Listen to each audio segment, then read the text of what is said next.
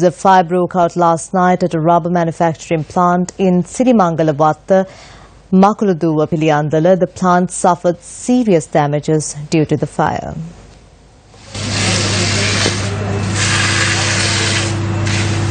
A correspondent said that the fire had erupted at around 11 pm yesterday. He added that two firefighting units from the Murutu Fire and Rescue Team doused the fire after two hours.